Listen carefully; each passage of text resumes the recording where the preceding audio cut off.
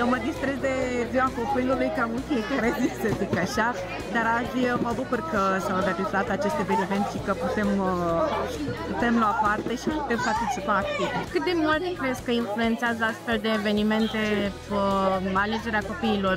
Astfel de evenimente ne se par foarte importante pentru că uh, prin astfel de evenimente copiii pot afla despre alte sporturi care nu sunt neapărat în vecinătatea lor. Sunt un pic mai departe, n-au auzit, pot să meargă din curiozitate și și din curiozitate pot rămâne în continuare în sportul respectiv. Uh, că trebuie organizate multe alte evenimente de genul ăsta ca să ajungă la, la copii să alege ei ulterior și să ne plătească.